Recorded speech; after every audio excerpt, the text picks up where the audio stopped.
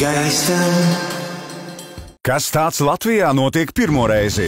Šī ir tā vana. Andris Kavičs un Lienes Kulme. Tā ir mīlestība vai tikai spēles slavas iegūšanai? Es nāku no skāpja ārā, esmu, esmu gejs. Skandalozi paziņojumi, Jā, man veselu gadu nebija seksa. privātā dzīve kameras priekšā.